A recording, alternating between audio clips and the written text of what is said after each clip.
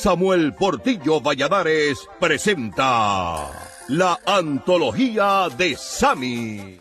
Hoy conversaremos acerca de uno de los ritmos más apasionantes, no solamente del pentagrama musical caribeño, sino del mundo. Nos referimos al bolero.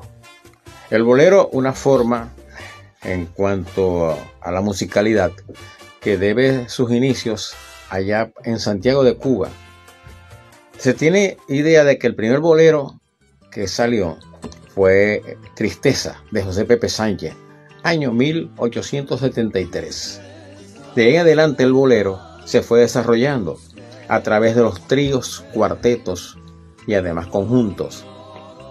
Pero lo más importante es que ese mismo bolero se fue aprovechando de toda la musicalidad del Caribe y llegó así de esta manera, llegó a México. Muchos creen que el bolero es mexicano.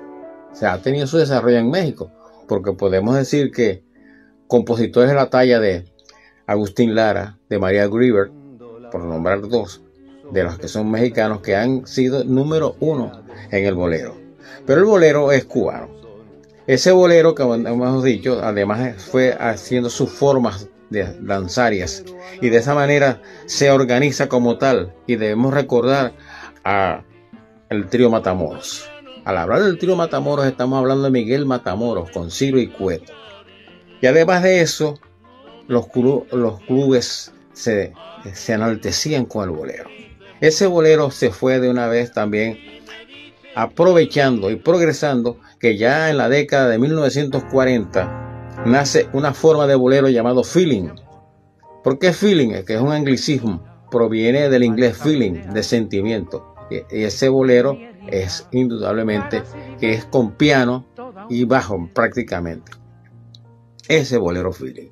Pero el bolero además se pudo permeabilizar. ¿Con qué se pudo permeabilizar? Con otros ritmos, por ejemplo con el son, además con el cha-cha-cha y el mambo. De donde nace el bolero cha, el bolero son y el bolero mambo.